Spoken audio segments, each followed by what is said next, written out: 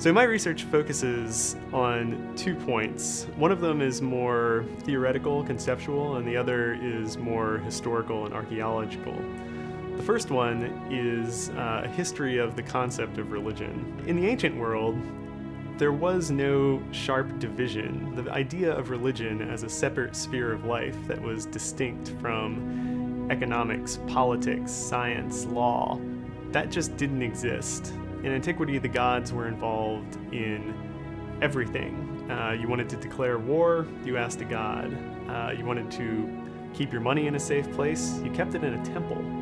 So I try to study how it is that we've come to have this idea of religion as something ideally separate. The second part of my research focuses on early Christian manuscripts. What I've tried to do in my research is to show that when we try to assign dates on the basis of handwriting, we really have to be very careful.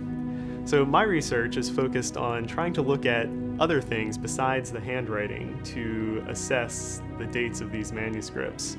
There's nothing quite like being able to physically touch something that's thousands of years old and to feel that connection with um, ancient people.